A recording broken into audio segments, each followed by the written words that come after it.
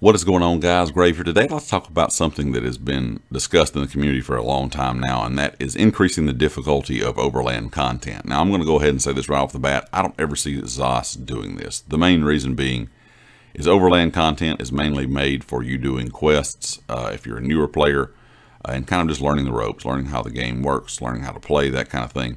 And I know a lot of people out there want to see the world bosses and public dungeons and things like that to be a bit more difficult for more advanced players, for higher level players, because a lot of this content is pretty simple, as most of you know, when it comes to overland stuff. I don't think, like I said, I don't think, I, I really don't ever see ZOS doing this. I would be shocked if they ever decided to change the difficulty of overland content to like make it so, for example, uh, I'll, I'll, take the division for you know for kind of a thought where you could change the tier of the world to make the bosses and ads and things like that uh, a lot harder than they were just on normal. I don't think ZOS is ever going to add in something like that because if they did, it's going to split up the servers even more. Of course, you'd have some people playing on the easier, you know, server, easier overland stuff. You'd have some people playing on a more difficult server. And I just don't see them doing that to kind of split the servers as it is. I think they're going to leave it alone. But I do think there could be some changes when it comes to future DLC content.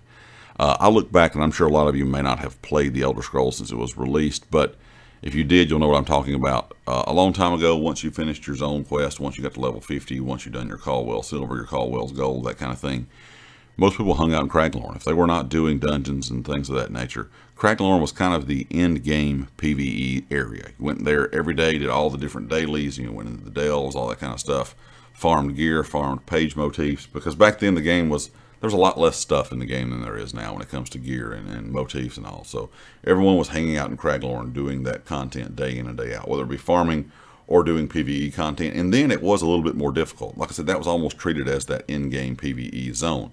Now, of course, since then, we've gone from vet levels to CP and all that kind of stuff. And things have gotten a lot easier. Even Craglorn's a lot more simple now. If you go in there as a higher level, it's stuff's not really hard to kill at all. You can solo a lot of stuff back in the day that you could not.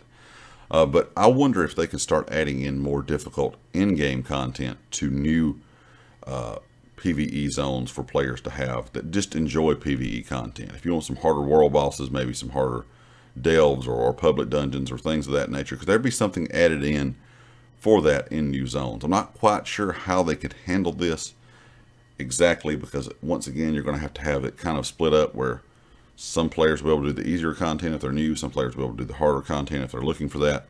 But I'm wondering if they could just make parts of the new zones more difficult than the others.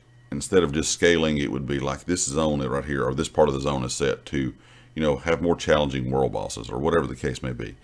Um, I'm kind of curious what you guys think. Would you like to see something like this? Would that be some kind of somewhere, I guess, where ZOS and the community kind of meet in the middle and try to figure out a way to get this content added in without having to change every single zone in the game to be to make it more difficult for, like I said, higher level players? Because I really think ZOS treats you know zones as something for newer players to kind of learn the game and, and try to understand the game and kind of progress their way to level 50 to hit that CP uh, mark.